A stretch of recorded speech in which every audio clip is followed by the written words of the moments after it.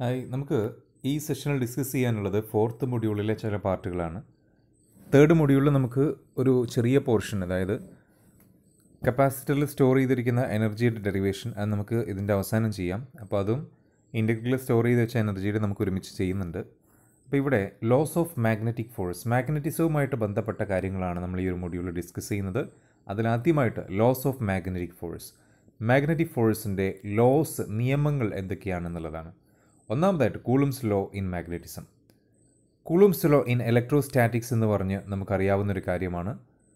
രണ്ട് ചാർജുകൾക്കിടയിലുള്ള force of attraction or repulsion എന്ന് പറയുന്നത് directly proportional to the product of their charges അതായത് Q one Q two എന്ന് പറയുന്ന ചാർജ് ആണെങ്കിൽ F proportional to Q one Q two Q one into Q two അതേപോലെ തന്നെ inversely proportional to the square of the distance between them R എന്ന് പറയുന്നത് രണ്ട് ചാർജുകൾക്കിടയിലുള്ള ഡിസ്റ്റൻസ് ആണെങ്കിൽ F proportional to one by R square അഥവാ inversely proportional to R square രണ്ടും കൂടി കമ്പൈൻ ചെയ്തുകൊണ്ട് F is equal to Q F proportional to Q one Q two divided by R square proportionality constant മാറ്റാനായിട്ട് F is equal to a constant into Q one Q two by R square ഈ രൂപത്തിലാണ് നമ്മൾ ചെയ്യുന്നത്. ആ കോൺസ്റ്റന്റിനെ one by four by epsilon zero എന്നൊക്കെ പറഞ്ഞ് നമ്മൾ ചെയ്യുന്നു. ഓക്കെ ഇവിടെ നമുക്ക് അടുത്തതായിട്ട് മാഗ്നറ്റിസത്തിൽ എന്താണ് കുളുംസ് ലോ വരുന്നത് എന്നുള്ളതാണ് ഈ ചിത്രത്തിൽ നിങ്ങൾക്ക് കാണാൻ സാധിക്കും രണ്ട് പോളുകളുണ്ട്.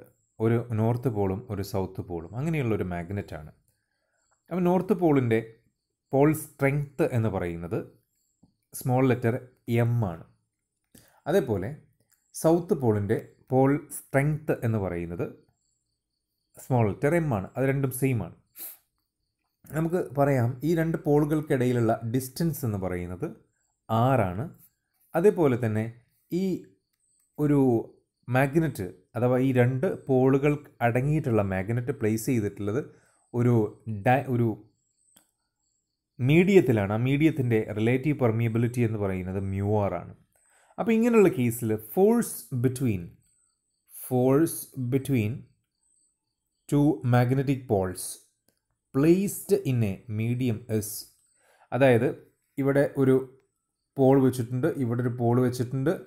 ആ രണ്ട് പോളുകൾക്കിടയിലുള്ള ഫോഴ്സ് എന്ന് പറയുന്നത് directly proportional to their pole strength pole സ്ട്രെങ്ത്തിന് directly പ്രൊപ്പോർഷണലാണ് അതായത് proportional to M one M two രണ്ടാമത്തേത് inversely proportional to square of the distance between them അതായത് M propo F proportional to one by R square മാത്രമല്ല inversely proportional to absolute permeability of the surrounding medium അപ്പോൾ absolute permeability എന്ന് പറഞ്ഞാൽ mu zero അപ്പോൾ ഇത് മൂന്നും കൂടെ combine ചെയ്യുമ്പോൾ നമുക്ക് ഇങ്ങനെ വരും. F proportional to mu one mu two divided by mu zero R square അത് അബ്സല്യൂട്ട് പെർമിയബിലിറ്റി ആകുമ്പോൾ മ്യൂ സീറോ അതല്ല വെറും പെർമിയബിലിറ്റി ആണെങ്കിൽ മ്യൂ സ്ക്വയർ മ്യൂ എന്ന് വരും. അപ്പം mu one mu two divided by mu R square constant K കൊണ്ട് multiply ചെയ്യുമ്പോൾ നമുക്ക് പ്രൊപ്പോർഷണാലിറ്റി ഒഴിഞ്ഞു കിട്ടും. കെയുടെ value one by four pi ആണ്. അപ്പോൾ ഇക്വേഷൻ ഇങ്ങനെ വരും. F is equal to one by four pi epsilon zero M one M two divided by R square അത്രയും ന്യൂട്ടൺ ആണ് ഈ രണ്ട് പോൾ സ്ട്രെങ്ത്തുകൾ തമ്മിലുള്ള force of attraction or repulsion. അപ്പോൾ എം വൺ എം ടു എന്ന് പറഞ്ഞാൽ മാഗ്നറ്റിക് സ്ട്രെങ്ത്ത് അല്ലെങ്കിൽ പോൾ സ്ട്രെങ്ത്തുകളാണ്. ഈ രണ്ട് പോളുകളുടെ മാഗ്നറ്റിക് സ്ട്രെങ്ത് ആണ് അതിന്റെ യൂണിറ്റ് ഡിഫൈൻ ചെയ്തിട്ടില്ല. അതേപോലെ തന്നെ ആർ എന്ന് പറയുന്നത് ഡിസ്റ്റൻസ് അതിന്റെ ഇടയ്ക്കുള്ള ഡിസ്റ്റൻസ് ആണ് അതേപോലെ മ്യൂ എന്ന് പറഞ്ഞു കഴിഞ്ഞാൽ absolute permi permeability of the surrounding medium okay സാധാരണ അബ്സൊല്യൂട്ട് പെർമിയബിലിറ്റി എന്ന് പറയുമ്പോൾ മ്യൂ സീറോ എന്നാണ് ഇടാറ്. അപ്പോൾ അത് ശ്രദ്ധിക്കുക. ഓക്കെ ഇനി ചില ഡെഫിനിഷൻസ് ആണ്. മാഗ്നറ്റിക് ഫീൽഡ് സ്ട്രെങ്ത്ത് എന്ന് പറഞ്ഞാൽ എന്താണ്? നേരത്തെ പോൾ സ്ട്രെങ്ത്ത് പറഞ്ഞു എം അത് എം എന്നുള്ള ലെറ്റർ കൊണ്ട് സൂചിപ്പിക്കുന്നു. ഇവിടെ മാഗ്നറ്റിക് ഫീൽഡ് സ്ട്രെങ്ത്ത് ഹെച്ച് എന്നുള്ള അക്ഷരം കൊണ്ട് സൂചിപ്പിക്കുന്നു. മാഗ്നറ്റിക് ഫീൽഡിന്റെ സ്ട്രെങ്ത് ആണ്. എന്താണ് മാഗ്നറ്റിക് ഫീൽഡ് സ്ട്രെങ്ത്ത് ഒരു പോയിന്റിലുള്ള ഒരു മാഗ്നറ്റിക് ഫീൽഡിലെ ഒരു പോയിന്റിലുള്ള മാഗ്നറ്റിക് ഫീൽഡ് സ്ട്രെങ്ത്ത് എന്ന് പറഞ്ഞാൽ അതായത് ഒരു മാഗ്നറ്റിക് ഫീൽഡ് ഉണ്ട് അതിന്റെ ഏതെങ്കിലും ഒരു പോയിന്റിലുള്ള സ്ട്രെങ്ത് എന്ന് പറഞ്ഞാൽ ആ പോയിന്റിൽ ഒരു നോർത്ത് പോൾ കൊണ്ടുവയ്ക്കാം. ആ നോർത്ത് പോളിന്റെ ആ പോളിന്റെ എത്ര ഫ്ലെക്സ് ഉണ്ടാക്കുന്നുണ്ട്? ഒരു വെബർ വൺ വെബർ ഫ്ലെക്സിന്റെ ഫ്ലെക്സിന്റെ യൂണിറ്റ് വെബർ എന്നാണ്.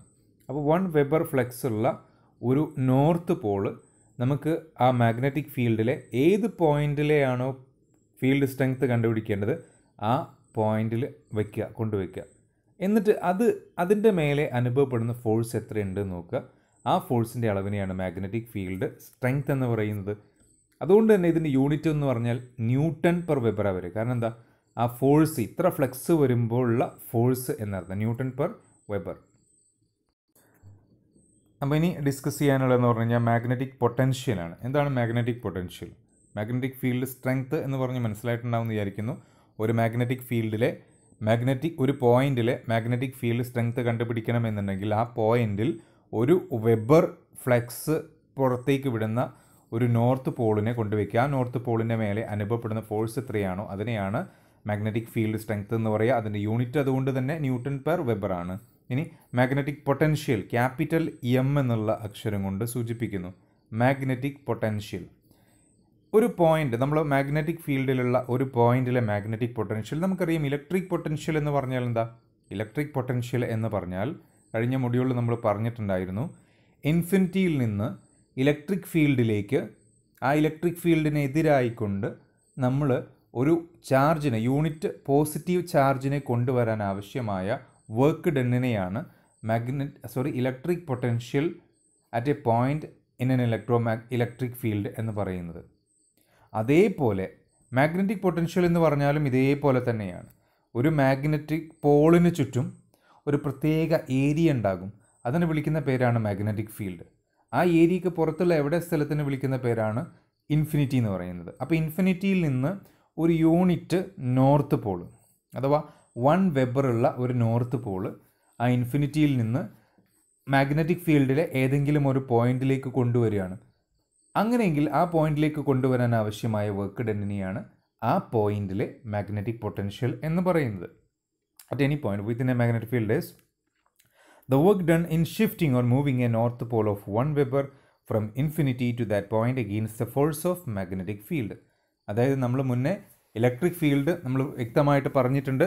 അതിന്റെ സ്ഥാനത്ത് മാഗ്നറ്റിക് ഫീൽഡ് വെച്ചുകൊണ്ട് സബ്സ്റ്റിറ്റ്യൂട്ട് ചെയ്ത് അതേപോലെ തന്നെ പറയുന്നതാണ് മാഗ്നറ്റിക് പൊട്ടൻഷ്യൽ ഓക്കെ കൂടുതൽ എക്സ്പ്ലനേഷന്റെ ആവശ്യമില്ല. കാര്യങ്ങൾ വ്യക്തമായിട്ടുണ്ടാവും എന്ന് വിചാരിക്കുന്നു. അപ്പോൾ ഇതിന്റെ ഒരു ഇക്വേഷനായിട്ട് magnetic potential M is equal to one by four pi mu zero small letter M by R joule per weber ആണ്. ജൂൾ പെർ വെബർ എന്ന് പറയാൻ കാരണം അവിടെ എന്തായിരുന്നു? ചാർജിനെ കൊണ്ടുവരും ജൂൾ പെർ കുളൂമായിരുന്നു. ഇവിടെ ജൂൾ പെർ വെബർ ഫ്ലെക്സ് നമ്മളൊരു അത്രയും ഫ്ലെക്സ് ഉള്ള ഒരു പോളിനെ കൊണ്ടുവരുന്നത് ഓക്കെ അതിനാവശ്യമായ work one by four pi mu zero M by R M എന്ന് പറഞ്ഞാൽ നമുക്കറിയാം നമ്മളതിന്റെ പോൾ സ്ട്രെങ്ത് ആണ്. ഇനി flux per unit pole phi എന്ന് പറഞ്ഞാൽ എന്താണ്? ഇപ്പോൾ നമുക്ക് ഒരു നോർത്ത് പോൾ അല്ലെങ്കിൽ ഒരു സൗത്ത് പോൾ ഒരു പ്രത്യേകമായിട്ടുള്ള ഫ്ലെക്സ് പുറത്തേക്ക് വിടുന്നുണ്ട്. ഇപ്പോൾ ഒരു നോർത്ത് പോൾ എന്ന് പറഞ്ഞാൽ ഒരു പ്രത്യേകമായിട്ടുള്ള ഫ്ലെക്സ് പുറത്തേക്ക് വിടുന്നുണ്ട്. അതാണ് ഫ്ലെക്സ് പെർ പോൾ അല്ലെങ്കിൽ ഒരു സൗത്ത് പോൾ പ്രത്യേകമായിട്ടുള്ള ഫ്ലെക്സ് അങ്ങോട്ട് എടുക്കുന്നുണ്ട്. അതാണ് ഫ്ലെക്സ് പെർ പോൾ എന്ന് പറയുന്നത്. അപ്പോൾ സാധാരണ പുറത്തേക്ക് വിടുന്ന ആരാണ് റേഡിയേറ്റ് ചെയ്യുന്ന ആരാണ്? നോർത്ത് പോളും സൗത്ത് പോൾ അതിന്റെ ഉള്ളിലേക്ക് എടുക്കുകയാണ് ചെയ്യുന്നത്. ഓക്കെ? അപ്പോൾ ഫ്ലെക്സ് പെർ പോൾ എന്നുള്ളത് കൊണ്ട് ഉദ്ദേശിക്കുന്നത് അതാണ്. ഓക്കെ? അപ്പോൾ ഒരു പോൾ സ്ട്രെങ്ത്ത് എന്നുള്ള നിലയിൽ നമുക്കെന്ത് പറയാം? ആ പോൾ സ്ട്രെങ്ത്ത് അത്രയും വെബർ എന്ന് പറയാം കൂടുതൽ എക്സ്പ്ലനേഷന്റെ ആവശ്യമില്ല ജസ്റ്റ് നോക്കുക. ഫ്ലെക്സ് ഡെൻസിറ്റി എന്ന് പറഞ്ഞാൽ അത് നമുക്കൊന്ന് മനസ്സിലാക്കണം. ഫ്ലെക്സ് ഡെൻസിറ്റി എന്ന് പറഞ്ഞാൽ നമ്മുടെ ഫ്ലെക്സ് ഇങ്ങനെ കടന്നു പോവുകയാണ്. ഫ്ലെക്സ് എന്ന് പറഞ്ഞാൽ എന്താ? ഫ്ലെക്സ് എന്ന് പറഞ്ഞു കഴിഞ്ഞാൽ നമ്മുടെ മാഗ്നറ്റിക് ഫീൽഡ് ലൈൻസിന്റെ കൂട്ടം. മാഗ്നറ്റിക് ഫീൽഡ് ലൈൻസിന് നമ്മൾ എന്താ പറയുക ഫ്ലെക്സ് എന്ന് പറയും. മാഗ്നറ്റിക് ഫീൽഡ് ഉണ്ടാകുമ്പോൾ അതിന് ലൈൻ കൊണ്ട് റെപ്രസെന്റ് ചെയ്യും. അതിന്റെ അതിന്റെ അളവിനെയാണ് മാഗ്നറ്റിക് ഫീൽഡ്. അപ്പോൾ ഇത് മാഗ്നറ്റിക് ഫീൽഡാണ്. ഈ മാഗ്നറ്റിക് ഫീൽഡ് ഇതിന്റെ പോകുന്ന വഴിയിൽ നമ്മളൊരു ഇങ്ങനെ ഒരു പെർപ്പൻഡിക്കുലർ ആയിട്ട് തൊണ്ണൂറ് ഡിഗ്രിയിൽ ഒരു എന്ത് വെച്ചു? ഒരു സർഫസ് ഒരു സർഫസ് വെച്ചു. ഒരു പ്ലെയിൻ എന്തെങ്കിലും വെച്ചു. അപ്പോൾ അതിന്റെ ഉള്ളിൽ കൂടെ എത്ര എണ്ണം പാസ് ചെയ്യുന്നുണ്ട്? ആ അളവിനെയാണ് നമ്മൾ ഫ്ലെക്സ് ഡെൻസിറ്റി എന്ന് പറയുക so it is a flux passing per unit area through a plane at right angle to the flux ഫ്ലെക്സുമായിട്ട് തൊണ്ണൂറ് ഡിഗ്രിയിൽ ഫ്ലെക്സ് ഇങ്ങനെ കടന്നു പോകുമ്പോൾ അതിന് ലംബകമായിട്ട് വെച്ച ഒരു പ്ലെയിന് ആ പ്ലെയിനിൽ കൂടി എത്രത്തോളം നമ്മുടെ ഫ്ലെക്സ് പാസ് ചെയ്യുന്നുണ്ട്? അതിനെയാണ് flux per flux per area അതിനെയാണ് നമ്മളെന്ത് പറയുന്നത്? ഫ്ലെക്സ് ഡെൻസിറ്റി ബി എന്നുള്ള അക്ഷരം കൊണ്ട് സൂചിപ്പിക്കുന്നത് ഫ്ലെക്സ് ഡെൻസിറ്റി എന്ന് പറഞ്ഞു കഴിഞ്ഞാൽ ഫ്ലെക്സ് പെർ ഏരിയ ആണ്. ഓക്കെ അപ്പോൾ അതിന്റെ യൂണിറ്റ് എന്തായിരിക്കും? ഫ്ലെക്സിന്റെ യൂണിറ്റ് വെബർ ഏരിയയുടെ unit metre square weber per metre square or tesla എന്നാണ് ഇതിന് പറയുക വെബർ പെർ മീറ്റർ സ്ക്വയർ അല്ലെങ്കിൽ ടെസ്ല അടുത്തത് എന്താണ്? അബ്സല്യൂട്ട് പെർമിയബിലിറ്റി എന്ന് പറഞ്ഞാൽ അബ്സല്യൂട്ട് പെർമിയബിലിറ്റി എന്ന് പറഞ്ഞാൽ എന്താണ്? അത് കാണാനുള്ള ഇക്വേഷൻ എന്താണ്? നമുക്കൊരു മാഗ്നറ്റിക് ബാർ നമ്മുടെ കയ്യിലുണ്ട്. ഒരു മാഗ്നറ്റിക് ബാർ എന്ന് പറഞ്ഞു കഴിഞ്ഞാൽ നോർത്തും സൗത്തൊക്കെയുള്ള ഒരു ബാർ. ഇപ്പോൾ ഇത് നോർത്ത് ഇത് സൗത്ത് ഇങ്ങനെ ബാർ സോപ്പ് പോലെയുള്ള ഷേപ്പ് ഇതിനാണ് നമ്മൾ എന്താ പറയുക മാഗ്നറ്റിക് ബാർ എന്ന് പറയാം. ഓക്കെ അപ്പോൾ suppose a magnetic bar is placed in a uniform field of strength H ഇപ്പോൾ ഇത് മാഗ്നറ്റിക് ബാർ എന്നുള്ളതുകൊണ്ട് ഉദ്ദേശിക്കുന്നത് ഇതിപ്പോൾ മാഗ്നറ്റാണ് ഇത് മാഗ്നറ്റാണ് ഇപ്പോൾ നമ്മൾ ഈ വരച്ചത്. മാഗ്നറ്റിക് ബാർ എന്നുള്ളത് ഉദ്ദേശിക്കുന്നത് അത് ഇപ്പം മാഗ്നറ്റ് ഒന്നുമല്ല.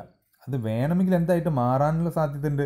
അതിലേക്ക് മാഗ്നറ്റിസം നമ്മൾ ചേർത്ത് കഴിഞ്ഞാൽ അത് മാഗ്നറ്റായിട്ട് മാറാം. അങ്ങനെയുള്ള കാന്തിക വസ്തു എന്ന് തന്നെ പറയാം. അതായത് കാന്തത്തിന്റെ സ്വാധീനം മൂലം കാന്തം അവിടെ വെക്കുന്നത് മൂലം ആ കാന്തത്തിന്റെ എഫക്റ്റ് കൊണ്ട് കാന്തമായിട്ട് മാറുന്ന വസ്തുക്കളാണ് കാന്തിക വസ്തു അഥവാ മാഗ്നറ്റിക് മെറ്റീരിയൽ അപ്പോൾ ഇങ്ങനെ ഒരു ഒരു മാഗ്നറ്റിക് ബാർ വെച്ച് എവിടെ വെച്ചത്?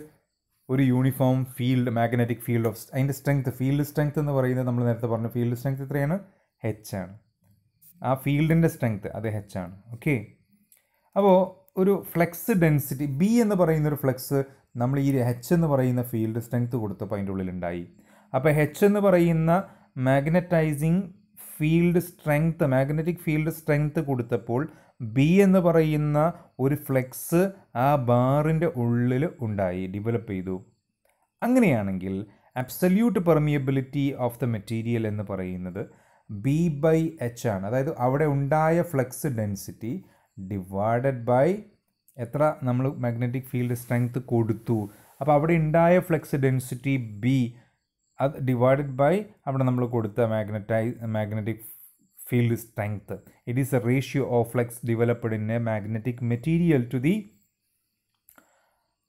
field strength magnetic field strength given to it okay അപ്പോൾ അതിന്റെ യൂണിറ്റ് എന്ന് പറഞ്ഞു കഴിഞ്ഞാൽ ഹെൻറി പെർ മീറ്റർ ആണ്. ഹെൻറി പെർ മീറ്റർ ആണ് ഇതിന്റെ യൂണിറ്റ് അതേപോലെ മ്യൂ എന്ന് പറഞ്ഞാൽ മ്യൂ സീറോ മ്യൂ ആർ ആണ് ഇങ്ങനെയുള്ള കാര്യങ്ങളെല്ലാം. Mu സീറോയുടെ value four pi into ten raise to minus seven henry per metre ആണ്. അടുത്തത് റിലേറ്റീവ് പെർമിയബിലിറ്റി എന്താണ് റിലേറ്റീവ് പെർമിയബിലിറ്റി എന്ന് പറഞ്ഞാൽ റിലേറ്റീവ് പെർമിയബിലിറ്റി എന്ന് പറഞ്ഞു കഴിഞ്ഞാൽ സാധാരണ ഇക്വേഷൻ പ്രകാരം മ്യൂ ആർ ആണ്. മ്യൂ ആർ എന്ന് പറഞ്ഞു കഴിഞ്ഞാൽ mu divided by mu zero ആണ്. അതിന്റെ അർത്ഥം ശരിക്കും പറഞ്ഞു കഴിഞ്ഞാൽ മ്യൂ എന്ന് പറഞ്ഞാൽ മീഡിയത്തിന്റെ പെർമിയബിലിറ്റി മ്യൂ സീറോ ആണ് യഥാർത്ഥത്തിൽ അബ്സല്യൂട്ട് പെർമിയബിലിറ്റി മ്യൂ ആർ എന്ന് പറഞ്ഞാൽ relative permeability so mu R എന്ന് പറഞ്ഞാൽ മ്യൂ ബൈ മ്യൂ സീറോ അതിന്റെ അർത്ഥം എന്താണ്? Permeability of air sorry permeability of medium divided by permeability of air അപ്പം പെർമിയബിലിറ്റിയുടെ റേഷ്യോയാണ് അതായത് എയറിലുള്ള പെർമിയബിലിറ്റി ഡിവൈഡഡ് ബൈ സോറി മീഡിയത്തിലുള്ള പെർമിയബിലിറ്റി ഡിവൈഡഡ് ബൈ എയറിലുള്ള പെർമിയബിലിറ്റി അപ്പോൾ അങ്ങനെ പറയാം. ഇനി അതല്ല എന്നുണ്ടെങ്കിൽ നമുക്കറിയാം മ്യൂ എന്ന് പറഞ്ഞാൽ എന്താണ്? ബി ബൈ എച്ച് ആണ്. അതേപോലെ മ്യൂ സീറോ എന്ന് പറഞ്ഞാലും അതിനനുസരിച്ചുള്ള ബി ബൈ എച്ച് ആണ്. എച്ച് ഒരേ മാഗ്നറ്റൈസിങ് ഫോഴ്സാണ് കൊടുക്കുന്നത്. അതായത് എയറിൽ ഒരു സാധനത്തിനെ നമ്മൾ എന്ത് ചെയ്യാണ്? മാഗ്നറ്റൈസ് ചെയ്യാണ്. ഇപ്പോൾ ഈ ഈ ഒരു ബാറിനെ നമ്മൾ എയറിൽ വെച്ച് മാഗ്നറ്റൈസ് ചെയ്യാണ്.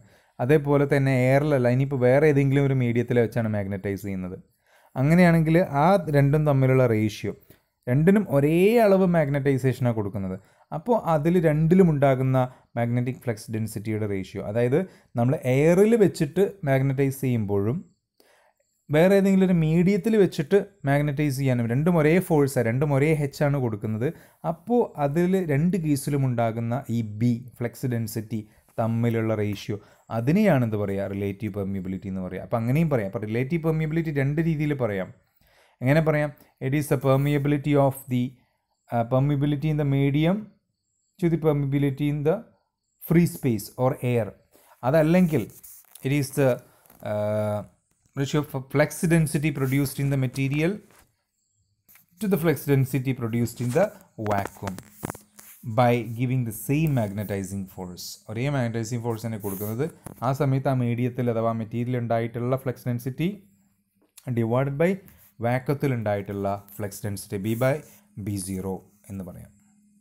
ഓക്കെ അപ്പോൾ അത് മനസ്സിലായിട്ടുണ്ടാവും എന്ന് വിചാരിക്കുന്നു. ഇതേപോലെ നമുക്ക് പറയാനുള്ള സംഭവമാണ് ഇന്റൻസിറ്റി ഓഫ് മാഗ്നറ്റൈസേഷൻ എന്താണ് ഇന്റൻസിറ്റി ഓഫ് മാഗ്നറ്റൈസേഷൻ എന്ന് പറയുന്നത്? ഒരു ബാറിന്റെ യൂണിറ്റ് ഏരിയയിൽ ഒരു ബാറിന്റെ യൂണിറ്റ് ഏരിയ യൂണിറ്റ് ഏരിയ എന്ന് പറഞ്ഞാൽ ഒരു മീറ്റർ സ്ക്വയർ അല്ലെങ്കിൽ ഒരു മില്ലിമീറ്റർ സ്ക്വയർ അല്ലെങ്കിൽ ഒരു സെന്റിമീറ്റർ സ്ക്വയർ ഇതിനെല്ലാം നമ്മൾ യൂണിറ്റ് ഏരിയ എന്ന് പറയും. യൂണിറ്റ് എന്നാൽ ഒരു എന്നുള്ള അർത്ഥം. അപ്പോൾ ഒരു മീറ്റർ സ്ക്വയർ ആവാം ഒരു സെന്റിമീറ്റർ സ്ക്വയർ ആവാം ഒരു മില്ലിമീറ്റർ സ്ക്വയർ ആവാം. അതിൽ ഇൻഡ്യൂസ് ചെയ്തിട്ടുള്ള പോൾ സ്ട്രെങ്ത് എന്താണ്? എം സ്മോൾ ലെറ്റർ എം എന്താണെന്നുള്ളതാണ്. ഓക്കെ? അതിനെയാണ് നമ്മൾ എന്താ പറയുക? ഇന്റൻസിറ്റി ഓഫ് മാഗ്നറ്റൈസേഷൻ ആയി എന്ന് പറയുക. ഇതിനെ നമ്മൾ ഇക്വേഷനായിട്ട് എഴുതുന്ന സമയത്ത് നമുക്കിങ്ങനെ എഴുതാം. I is equal to I is equal to M by A അപ്പോൾ നമ്മൾ പറഞ്ഞ സാധനമാണ്. എന്താ എം എന്ന് പറഞ്ഞു കഴിഞ്ഞാൽ pole strength divided by area എന്നുള്ളതാണ്. നമ്മൾ എന്ത് ചെയ്യുക രണ്ട് സൈഡിലും ന്യൂമറേറ്ററിലും ഡിനോമിനേറ്ററും എല്ലും കൊണ്ട് മൾട്ടിപ്ലൈ ചെയ്തു.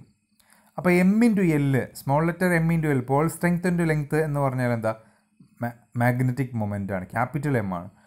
എം ഇന്റു എൽ എന്ന് പറഞ്ഞാൽ ക്യാപിറ്റൽ മാഗ്നറ്റിക് മൊമെന്റ് ആണ്. എ ഇന്റു എൽ എന്ന് പറഞ്ഞാൽ ഏരിയ ഇന്റു ലെങ്ത് എന്ന് പറഞ്ഞാൽ എന്താ? വോളിയമാണ് so magnetic moment by volume അങ്ങനെയും പറയാം. അതുകൊണ്ട് രണ്ടാമത്തെ ഡെഫിനേഷൻ ഇങ്ങനെ വരും. It is the ratio of magnetic moment developed per unit volume of the bar magnetic magnetic moment developed divide by volume of the bar അങ്ങനെയും പറയാം. അപ്പോൾ ഒന്നാമത്തെ ഇക്വേഷൻ നമ്മളൊന്ന് മോഡിഫൈ ചെയ്തിട്ട് എന്ത് ചെയ്തു?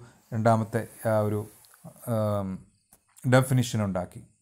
ഓക്കെ ഇനി മൂന്നാമത് വേറെ നമുക്ക് ഇങ്ങനെയും പറയാം. It can be defined as the flux density produced in a substance due to its own induced magnetism ഒരു അതിൽ തന്നെ അതിന്റെ കാരണം കൊണ്ട് തന്നെ ഒരു മാഗ്നറ്റൈസേഷൻ മാഗ്നറ്റിസം ഉണ്ടായതുകൊണ്ട് അതിൽ എത്രത്തോളം ഫ്ലെക്സ് ഡെൻസിറ്റി ഉണ്ടായിട്ടുണ്ട് എന്നുള്ളത്.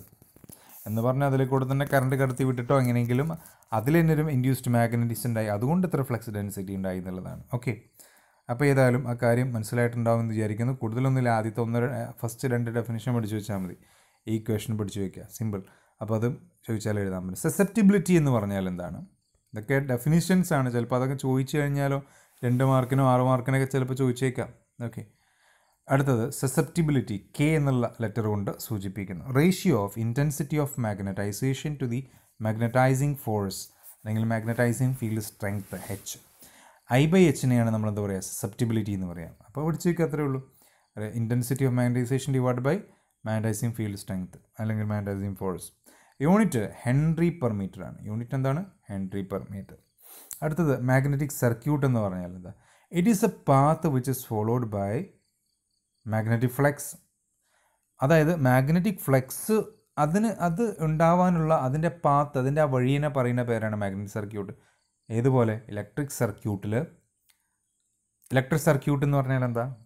കറണ്ടിന് കടന്നു പോകാനുള്ള പാത്ത് മാഗ്നറ്റിക് സർക്യൂട്ട് എന്ന് പറഞ്ഞാൽ അത് മാഗ്നറ്റിക് ഫ്ലക്സ് ഫോളോ ചെയ്യുന്ന പാത്ത് അടുത്ത magneto motive force electro motive force E M F എന്ന് പറഞ്ഞാൽ കറണ്ട് ഉണ്ടാക്കാനുള്ള സംഭവമാണ്. ഇ എം എഫ് ഉണ്ടായാലാണ് ആ ഒരു ഫോഴ്സ് ഇ എം എഫ് എന്ന് പറയുന്ന ഫോഴ്സ് അഥവാ വോൾട്ടേജ് ഉണ്ടായാലാണ് കറണ്ട് ഉണ്ടാവുള്ളൂ. കറണ്ട് കടന്നു പോകുള്ളൂ അപ്പോൾ കറണ്ടിനെ ഉന്താനുള്ള ഫോഴ്സാണ് ഇ എം എഫ് എന്ന് പറയുന്നത്. അപ്പം എം എം എഫ് എന്ന് പറഞ്ഞാൽ എന്താ? എം എം എഫ് എന്ന് പറഞ്ഞു കഴിഞ്ഞാൽ നമ്മുടെ മാഗ്നറ്റിക് സർക്യൂട്ടിൽ കൂടി ഫ്ലെക്സിന് ഉണ്ടാക്കാനുള്ള പിന്നെ ഫോഴ്സ് അല്ലെങ്കിൽ ഫ്ലെക്സിന് ഉണ്ടാക്കാനുള്ള സാധനമാണിത് എം എം എഫ് എന്ന് പറയുന്നത്. അത് ഏതുപോലെയാണ്? ഇലക്ട്രിക് സിസ്റ്റത്തിൽ ഇ എം എഫ് പോലെയാണ്.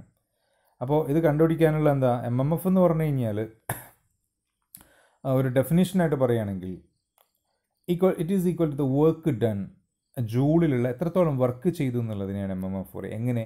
In carrying a unit magnetic pole once through the entire magnetic circuit അതായത് ഇപ്പോൾ ഇലക്ട്രിക് സിസ്റ്റത്തിൽ നമ്മൾ പറയും ചാർജിനെ ഒരു ചാർജിനെ നമുക്ക് എന്ത് ചെയ്യണം? നമുക്ക് ആ സർക്യൂട്ടിൽ കൂടെ മൊത്തം മൂവ് ചെയ്യിപ്പിക്കണം. അഥവാ കറണ്ട് അതിൽ കൂടെ പാസ് ചെയ്യിപ്പിക്കണം. അതിനാവശ്യമായ വർക്ക് ഡണ്ണിനെയാണ് നമ്മളെന്ത് പറയുക ഇ എം എഫ് എന്ന് പറയുക വോൾട്ടേജ് എന്ന് പറയുക എന്ന് പറഞ്ഞിട്ടുണ്ട്. ജൂൾ പെർ കുളൂം എന്നൊക്കെ നമ്മൾ പഠിച്ചിട്ടുണ്ട് അല്ലേ?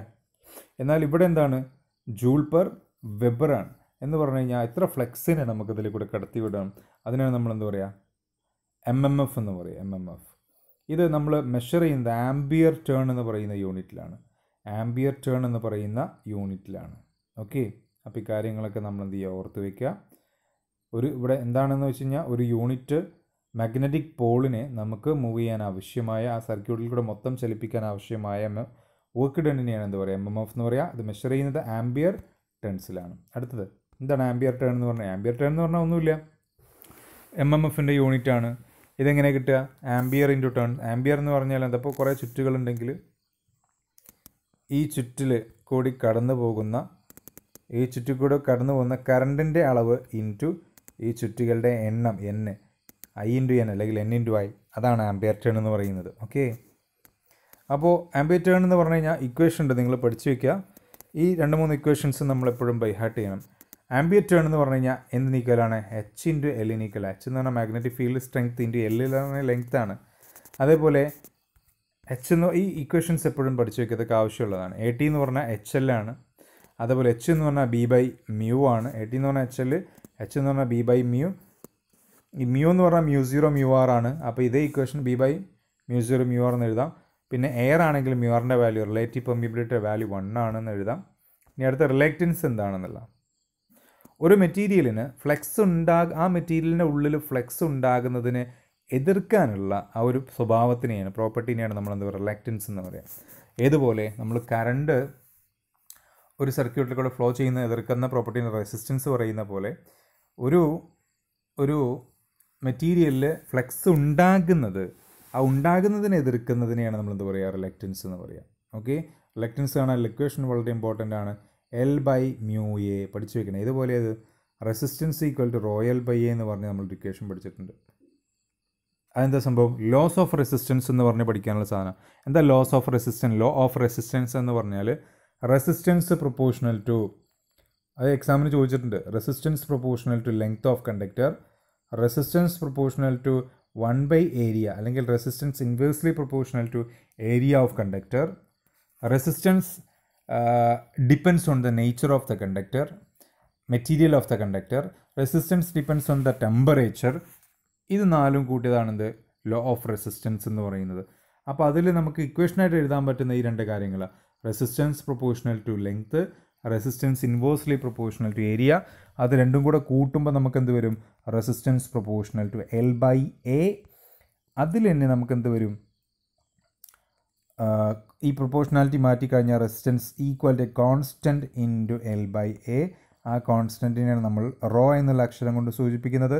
റോ എന്ന് പറഞ്ഞാൽ സ്പെസിഫിക് റെസിസ്റ്റൻസ് അല്ലെങ്കിൽ റെസിസ്റ്റിവിറ്റി അപ്പോൾ R is equal to rho L by A rho is equal to R A by L എന്നൊക്കെ നമ്മൾ പഠിച്ചിട്ടുണ്ട്. ശരിയല്ലേ? ഓക്കെ അപ്പോൾ അത് അതുപോലെയുള്ള റിലക്റ്റൻസിന്റെ ഇക്വേഷനാണ് S is equal to L L രണ്ടിലും കണ്ടോ? മുകളിലാണ് അതേപോലെ എ എ രണ്ടിലും ഒരുപോലെയാണ്.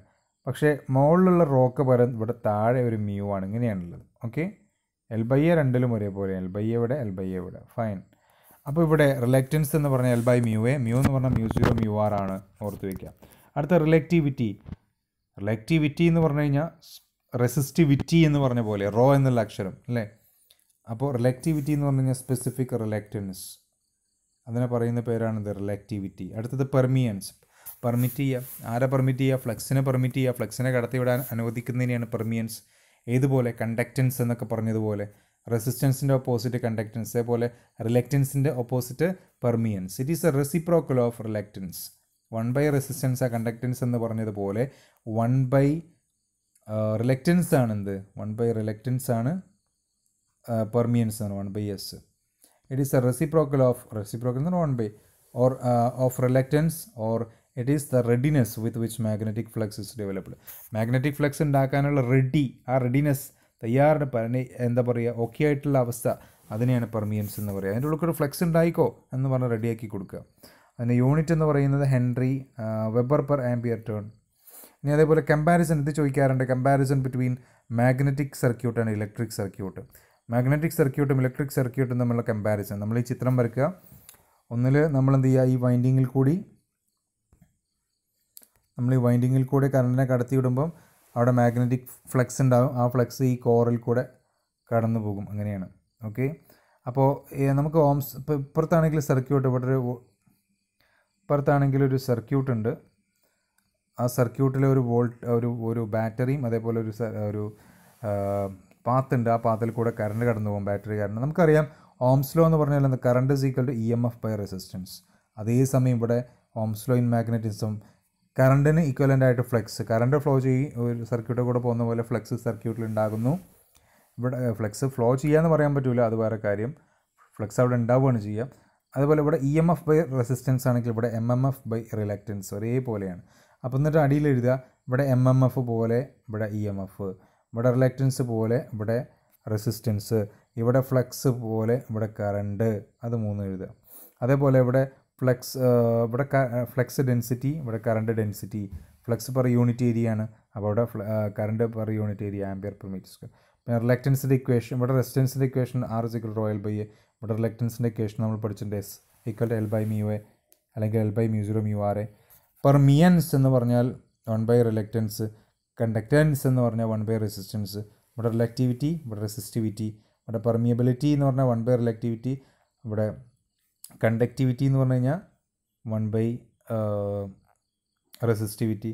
പിന്നെ ടോട്ടൽ എം എം എഫ് കാണാൻ ടോട്ടൽ എം എം എഫ് കാണാൻ സീരീസ് ആയിട്ടുള്ളൊരു രീതിയിലാണ് ചെയ്യുക. അതായത് flux into reluctance plus flux into reluctance plus flux into reluctance ഇവിടെ ആണെങ്കിലോ I total E M F ആണെങ്കിൽ I R one plus I R two plus I R three ഇവിടെ I same ആണ് സീരീസ് ആകുമ്പോൾ അതേസമയം ഇവിടെ സീരീസ് ആകുമ്പോൾ flex same ആണ്.